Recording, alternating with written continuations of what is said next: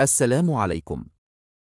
الطرق والكباري تنفي هدم كبري العامرية للسيارات لصالح مشروع القطار السريع نفت وزارة النقل ممثلة في الهيئة العامة للطرق والكباري هدم كبري العامرية للسيارات لصالح مشروع الخط الأول للقطار الكهربائي السريع السخنة العلمين مطروح وقالت الهيئة في بيان لها اليوم الثلاثاء إن ما يتم تنفيذه حاليا بكبري العامرية هو تعديل في منسوب الكبري وزيادة عرضه وليس هدم الكبري وأضافت أن الهيئة القومية للأنفاق تقوم حاليا بتنفيذ الخط الأول العين السخنة العلمين الجديدة مرسي مطروح والخط الثاني أكتوبر الأقصر أسوان أبو سنبل والذي يتقاطع مع شبكة الطرق الحالية. بمناطق متفرقة والتي تتطلب إنشاء أو تعديل الأعمال الصناعية القائمة عند هذه التقاطعات.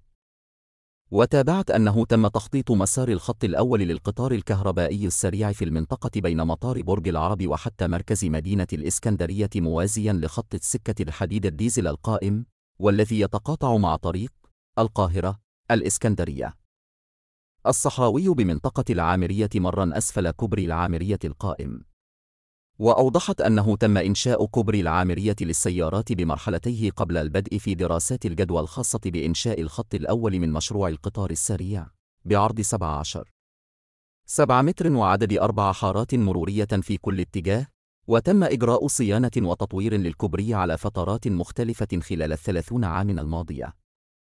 وأشارت إلى أن كوبري العامرية يحقق خلوص آمن بارتفاع 6 أمتار أعلى قضبان السكة الحديد الديزل والذي لا يتوافق مع معاملات الأمان والاشتراطات الفنية للقطارات الكهربائية السريعة والتي تتطلب خلوص رأسي. بارتفاع 9 متر أعلى قضبان القطار الكهربائي السريع.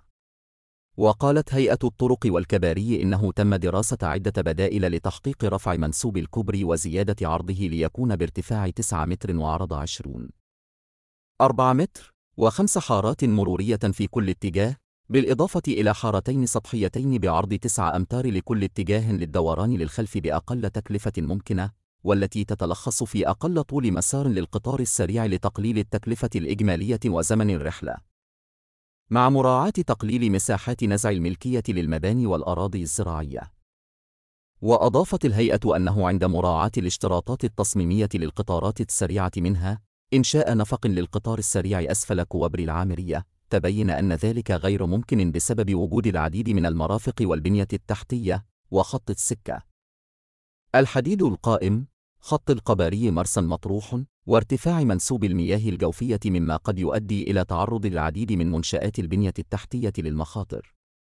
ونوهت بأنه تم دراسة إنشاء كبري للقطار الكهربائي السريع أعلي كبري العامرية، ولكن ذلك يتطلب تكلفة مالية أكثر من ضعف تعديل مواصفات كبري العامرية.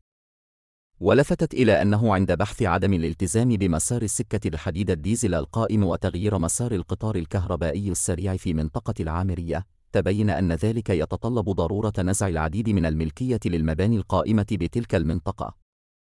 وقالت هيئة الطرق إن كبري العامرية الحالي تم إنشاؤه على مرحلتين، المرحلة الأولى على طريق القاهرة، الإسكندرية، الصحراوي القديم، وتم إنشاؤها منذ أكثر من ثلاثون عاماً من الخرسانة المسلحة وباكيات معدنية. أعلى القطار الحالي وأضافت أن المرحلة الثانية للكوبري تم إنشاؤها لتوسعة طريق القاهرة الإسكندرية الصحراوي عام 2015 من الكاميرات المعدنية منوهة إلى عمل دراسات مستفيضة لرفع منسوب الكوبري الحالي وزيادة عرضه حيث تم دراسة الحالة الإنشائية لكل عناصره لإعادة استخدام العناصر التي تصلح. وأوضحت أن الدراسة انتهت إلى فك الكوبري المعدني وإعادة استخدامه مع الاستفادة بأساساته وزيادتها لتتحمل التوسعة الجديدة الاتجاه الإسكندرية، القاهرة، والاستفادة بالباكيات المعدنية الاتجاه القاهرة شرطة.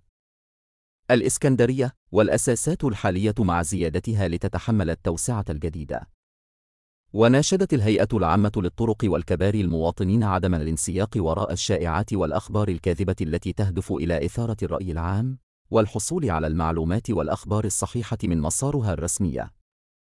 ولفتت الوزارة إلى تخطيطها شبكة القطار الكهربائي السريع بخطوطه الثلاثة الأول، الثاني، الثالث لربط الموانئ المصرية على البحرين الأحمر والمتوسط وخدمة الركاب والسياحة بين كافة مدن الجمهورية وربط العاصمة الإدارية الجديدة بالمدن المختلفة والتجمعات العمرانية الحديثة وكذلك زيادة فرص التصدير من خلال ربط الدلتا الجديدة والمدن الصناعية بالموانئ المصرية.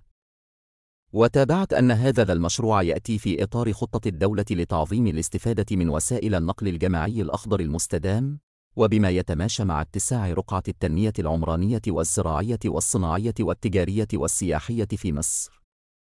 لا تنسوا الإعجاب بالفيديو والاشتراك بالقناة تشجيعا لنا لنستمر في نشر المزيد.